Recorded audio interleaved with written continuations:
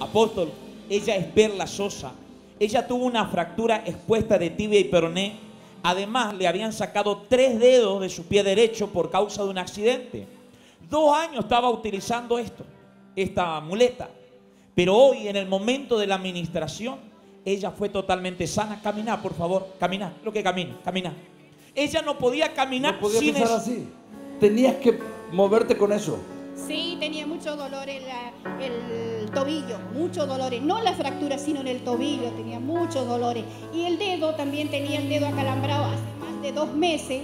Y cuando empezó a hacer la oración, empecé a orar y empecé a alabar a Dios y se me pasó, se fue. Se fue el dolor Se fue totalmente. El dolor también, totalmente. Y hoy viniste caminando con la muleta. Sí, con la Ese muleta. cosito que tienes para ponerte en el brazo.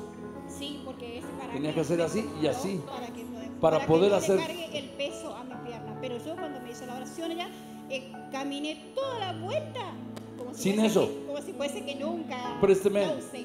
¿No habías caminado así? así. No habías Tenía caminado. Dolores, tenía muchos dolores. El doctor va a decir algo. Sí. El problema por el que no caminaba es porque el hueso calcáneo tenía 3 centímetros menos.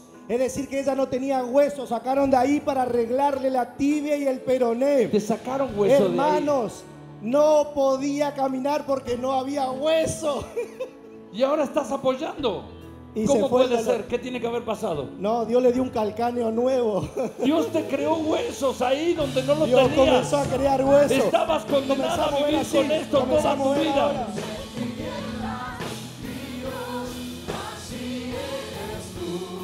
Mírala, mírala, mírala. Está bailando, está bailando.